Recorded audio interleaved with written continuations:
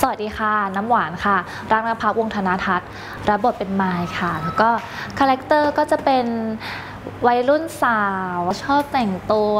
ชอบแต่งหน้าอะไรอย่างเงี้ยค่ะ ชอบปาร์ตี้กับเพื่อนๆ ถามว่าคล้ายไหมก็ก็มีส่วนคล้ายบ้างตรงที่ชอบแต่งตัวแต่งหน้าอะไรอย่างเงี้ยแล้วก็มีชอบมีแอบชอบปาร์ตี้กับเพื่อนๆคือในบทนี้มันเป็นคนที่แบบไม่ค่อยมีจรรยาบรรณสักเท่าไหร่ ซึ่งจริงๆเราเราก็ไม่ได้เป็นแบบนั้นนะอะไรอย่างเงี้ย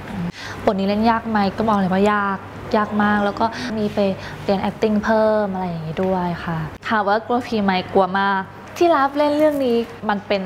ความท้าทายดีสำหรับส่วนตัวเราที่เรากลัวผี แล้วเรามารับเล่นเรื่องผี มันเหมือนว่ามันเป็นต้นทุนของเราด้วย ไม่ค่อยได้เจอเหตุการณ์แบบอะไรที่มันสยองหรือไม่ค่อยได้เจอเหตุการณ์ขนหัวลุกคือ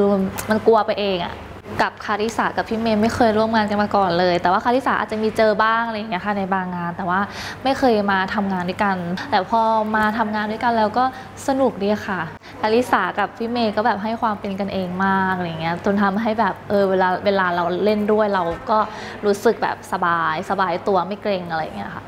คงจะเป็นฉากที่เอามัสคาร่าแทงเข้าในลูกตาฉากนี้มันเป็นฉากที่แบบยากที่สุดแล้ว ไม่ค่อยมีนะคะ ส่วนมากก็จะแบบถ่ายกันราบลื่นอะไรเงี้ยเหมือนแบบพอเข้ากับหลาย ๆ คนแล้วทุก ๆ คนก็ช่วยกันด้วยอะไรเงี้ยมันมันเลยให้แบบการทำงานแบบว่าสบายมาก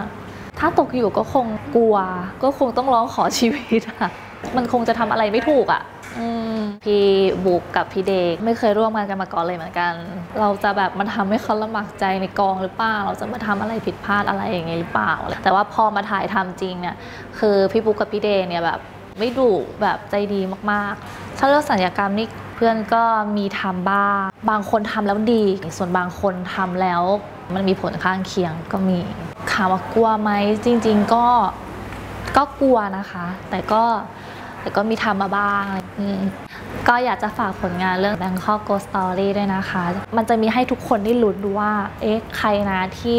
เป็นตัวแบบตัวการของเรื่องนี้อะไรอย่างเงี้ย ก็อยากให้ทุกคนได้ติดตามดูค่ะ